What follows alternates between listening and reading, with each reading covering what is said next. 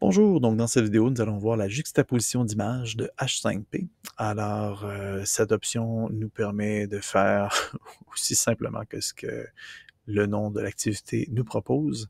En fait, euh, je dis activité, mais c'est vraiment plutôt une ressource didactique plus que plus qu'une activité pédagogique d'apprentissage. Donc euh, voilà. Alors, ça permet donc de juxtaposer deux images et de voir tout simplement avec le petit glissoir le avant-après bref, la, comparaison. Alors, on peut aller dans les détails pour voir, bon, voilà, un avant-après, euh, noir et blanc couleur, 1900, 2000, etc. photo aérienne, donc euh, l'évolution d'un territoire, ce qui est toujours très, très intéressant. voilà, tout simplement.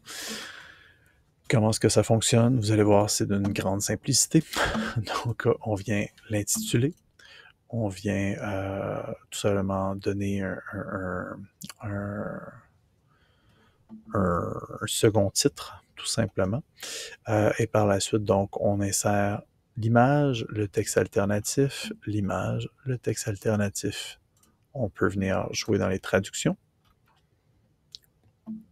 Donc, euh, on vient choisir le français qui est, ici. Voilà, c'est réglé. On peut changer. Donc, euh, mais ici, il n'y a pas grand-chose à, changer. Euh, bref, on a choisi les deux images. On a paramétré les deux images. On vient finir de paramétrer le tout. On enregistre et le tour est joué. Donc, c'est aussi simple que ça. Euh, très, très, très accessible, très simple euh, à démarrer. Et euh, de cette manière-là, on est capable donc d'insérer à travers notre chapitre des images comparatives, excusez, des comparaisons d'images. Voilà. de manière très simple, très rapide. Voilà. Merci beaucoup. Une bonne journée.